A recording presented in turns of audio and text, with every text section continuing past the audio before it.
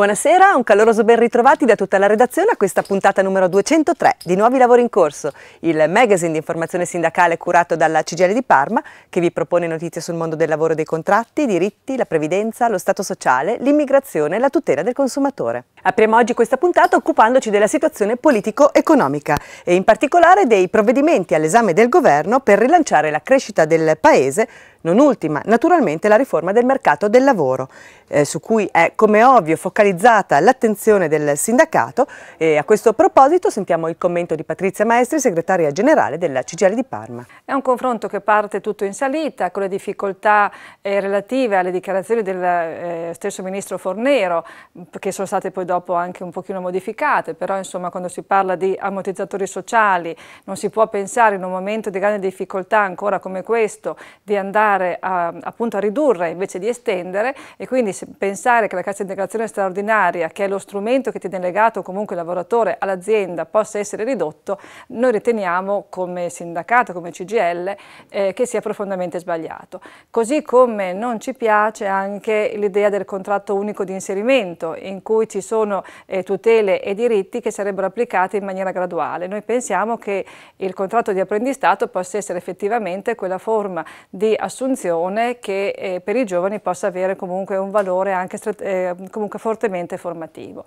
Eh, certamente il confronto appunto proseguirà, eh, i temi per il momento come sono stati affrontati eh, non sono comunque rispondenti ai problemi che noi abbiamo sollevato, c'è un problema di, di, ancora di disoccupazione giovanile molto forte in questo Paese, quindi dobbiamo trovare quegli, quegli strumenti che possano eh, affrontare questo tema come quello della crescita.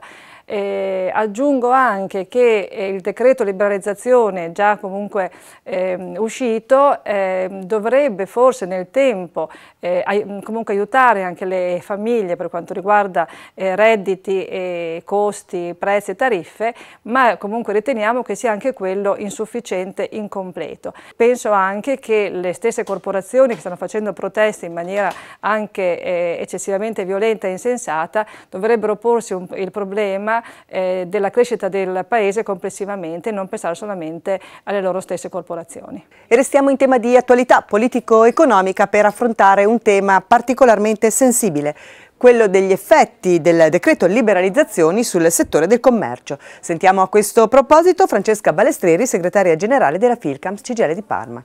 La totale liberalizzazione del commercio senza regole prevista dal decreto del governo danneggia e peggiora le condizioni di vita delle lavoratrici e lavoratori del settore, rompendo equilibri di vita familiari e rendendo sempre più incompatibili i tempi di lavoro e di vita. La norma del governo, tra l'altro, esautora completamente le regioni delle loro competenze in materia, annulla qualunque differenza tra i centri storici e le periferie e rende impraticabili gli accordi territoriali sui calendari di apertura. Negozi aperti eh, con orari prolungati nelle domeniche o in tutte le festività non significa crescita. I dati degli ultimi mesi continuano ad evidenziare un calo drammatico dei consumi e sappiamo bene che il problema eh, è il reddito e la capacità di spesa dei cittadini e non certo gli orari di apertura. Eh, maggiori aperture per le imprese significa aumento dei costi di gestione. Da tempo facciamo i conti con gli effetti negativi di questo fenomeno, meno diritti e meno salario per i lavoratori continua chiusura delle piccole imprese che rischia di creare il deserto nei centri storici delle nostre città, a vantaggio della grande distribuzione situata nelle periferie.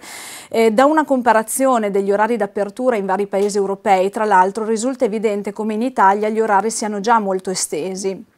In nessun paese europeo, forse fatta eccezione per Londra, i negozi chiudono sempre alle 21 o alle 22, soprattutto nei fine settimana. Oggi più che mai, eh, in, nel momento in cui la crisi, dei, la crisi, coinvolge la nostra economia, è necessario ripensare a un modello di sviluppo e a un modello di consumo diverso, eh, altrimenti si rischia di rendere i cittadini semplici consumatori, mentre serve invece rispettare di più il valore del lavoro. Passiamo ora al comparto creditizio. Al termine di una difficile trattativa, dopo oltre un anno di intensa mobilitazione e quattro mesi di scontro durissimo, è stato finalmente sottoscritto lo scorso 14 gennaio un accordo sul progetto di riorganizzazione per l'integrazione di Banca Monte Parma nel gruppo Intesa San Paolo. Accordo firmato da tutte le rappresentanze sindacali e aziendali di Banca Monte Parma e che ci illustra Stefano Fornari della FISAC CGL di Parma. Dopo tanti mesi di scontro e mobilitazione siamo riusciti a raggiungere questo accordo eh, con Banca Monte, con il gruppo Intesa San Paolo. È un accordo che eh, certamente prevede dei sacrifici per i lavoratori, ma che in ogni caso respinge il progetto di Intesa San Paolo che aveva richiesto 141 licenziamenti, non ci saranno licenziamenti, ci saranno le conferme dei giovani apprendisti, quindi una tutela anche della prospettiva del futuro dei lavoratori e della banca stessa e i sacrifici che ci sono, anche perché stiamo parlando di un accordo di emergenza, eh, comportano eh, dei prezzi che i lavoratori devono pagare, ma che in ogni caso sono tutti misurati su strumenti di natura contrattuale e aggiuntiva, si tratta di sospensione di trattamenti e non di cancellazione di trattamenti, e si è utilizzato un criterio di completa solidarietà utilizzando al massimo dei principi di equità che certamente eh, non risolvono il problema del prezzo, dell'intervento sul prezzo, ma eh, che riescono in ogni modo a far pagare di più a chi ha di più, eh, salvaguardando le fasce più deboli eh, dei lavoratori.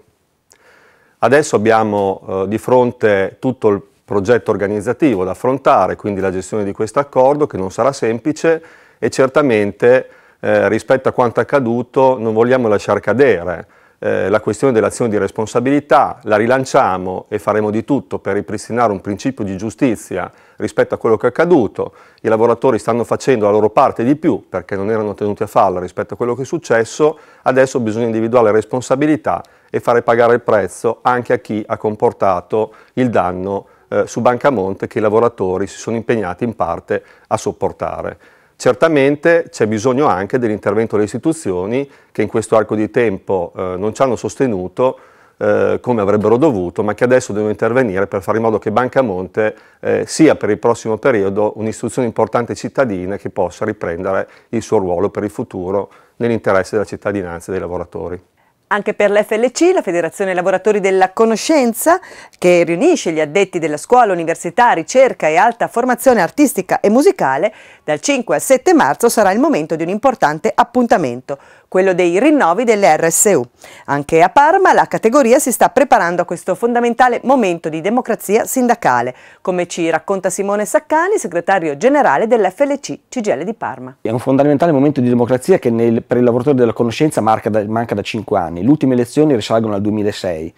Sono importanti queste elezioni RSU, noi ci stiamo lavorando per due motivi principalmente. Per un motivo perché a livello nazionale, come voi sapete, la rappresentatività di un sindacato nel pubblico impiego si misura proprio durante le elezioni RSU. Io vi ricordo che negli ultimi anni siamo stati eh, soggetti di diversi accordi separati, ossia senza la firma della CGL, quegli accordi valgono appunto in virtù del peso che hanno i vari sindacati. L'ultimo accordo, vi ricordo, è quello sancito semplicemente pochi mesi fa, nel quale si modifica il contratto nazionale che dovrebbe essere bloccato per legge fino al 2015 e si cambia la tabella retributiva, quindi per tutti i neoassunti in ruolo da questo settembre fino all'infinito eh, questi lavoratori non percepiranno lo stesso stipendio per i prossimi nove anni. Altrettanto importanti sono le RSU invece per quanto riguarda le contrattazioni di istituto. Quest'anno per la prima volta da quando esistono eh, le RSU l'FLC non ha sottoscritto dei contratti di istituto per il semplice motivo che alcuni dirigenti hanno interpretato la norma di Brunetta in senso restrittivo per i lavoratori, ossia togliendo dalla contrattazione tutto ciò che riguarda l'organizzazione del lavoro. È un attacco per la prima volta ai diritti e non solo alla parte retributiva per, per quanto riguarda la contrattazione di secondo livello, che noi vorremmo continuare a difendere con sempre maggior forza. Per questo motivo ci stiamo impegnando e chiediamo a tutti i lavoratori di votare il 5, 6 e 7 di marzo per la FLC CGL.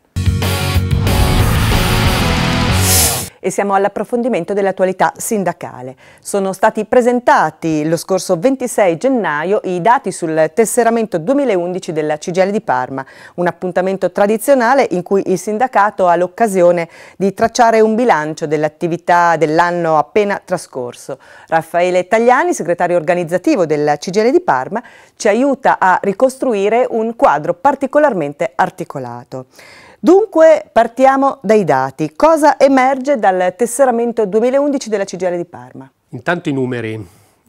Il 2011 ha rappresentato da un punto di vista dell'iscrizione alla CGL di Parma un dato positivo, un dato quindi potremmo dire quasi in controtendenza con le difficoltà eh, occupazionali in genere nel nostro territorio.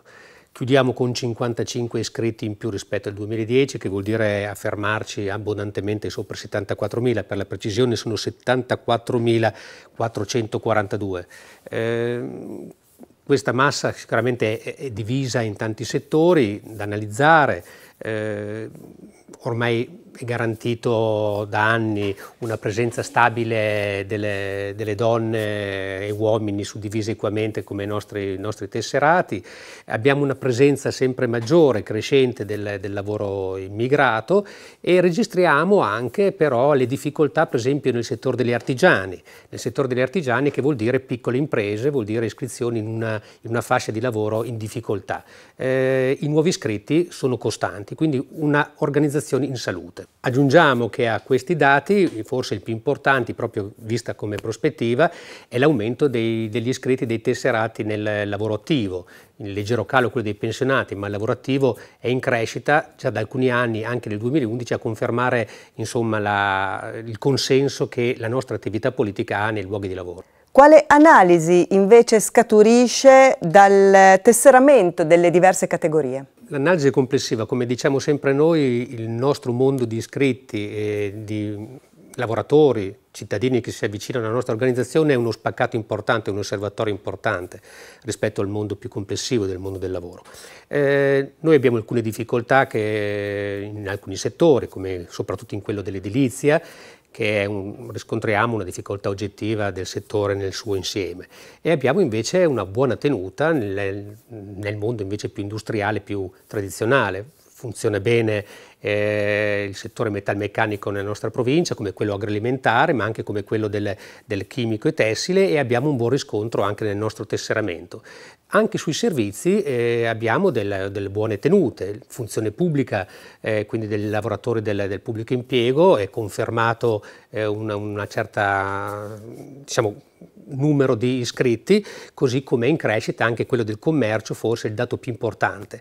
Ottimo risultato anche quello del, della scuola eh, che conferma l'attività svolta in, quelle, in, quel settore particolarmente colpito nel, nel, passato dalle leggi. Un dato per tutti però è quello del NIDE, la nuova eh, nostra categoria sull'identità del lavoro, sugli atipici, che eh, registra diciamo, quel mondo del lavoro non cosiddetto tradizionale, dei giovani, delle atipicità, dei, delle collaborazioni partite IVA. È un grande aumento, denota proprio, fotografa la situazione, l'andamento, l'evoluzione del mercato del lavoro anche nella nostra provincia.